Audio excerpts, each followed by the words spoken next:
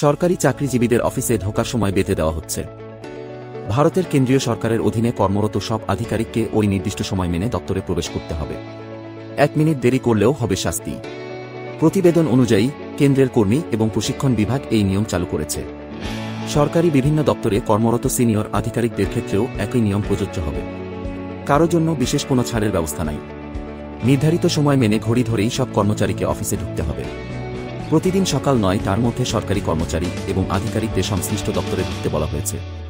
পনেরো মিনিট দেওয়া হয়েছে গ্রেস টাইম হিসাবে। অর্থাৎ দপ্তরে প্রবেশের সরকারি সময় সকাল নয়টা।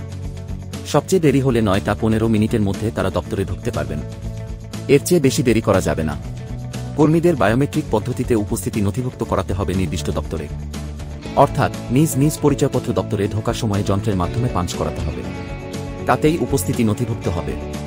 নয়টা এক পাঁচ মিনিটের পর কেউ নিজের কার্ড পাঞ্চ করালে তার পৌঁছাতে দেরি হয়েছে বলে ধরে নেওয়া হবে।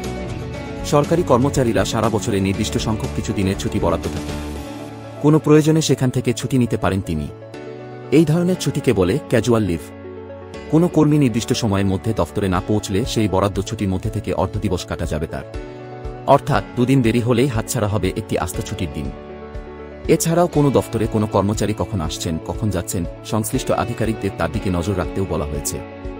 অভিযোগ, সরকারি বিভিন্ন দপ্তরে এই সময়ের হিসাব রাখা হয় না। কর্মীরা যে যখন খুশি অফিসে ঢোকেন এবং সময়ের আগেই বেরিয়ে যান। কেউ কেউ অফিসে ঢুকে উপস্থিতি নথিভুক্ত করিয়েই আবার বেরিয়ে যান। এতে সাধারণ মানুষকেও অনেক সমস্যায় পড়তে হয়। সরকারি দপ্তরগুলোতে সময়ের এই সমস্যা মেটাতে বায়োমেট্রিক পদ্ধতির উপস্থিতি অনেক আগেই চালু করা হয়েছিল। কিন্তু কোভিডের সময় থেকে সেই ব্যবস্থা পুরোপুরি কার্যকর ছিল না। তারপর পরিস্থিতি স্বাভাবিক হলেও অনেক আধিকারিক সেই নিয়ম আর আগের মতো করে মানতে চাননি।